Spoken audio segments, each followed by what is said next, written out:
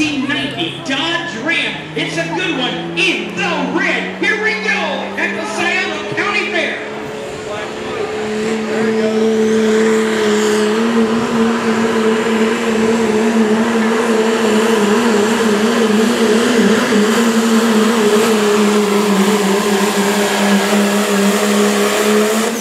Man, that's a good run right there. Wow, the 1990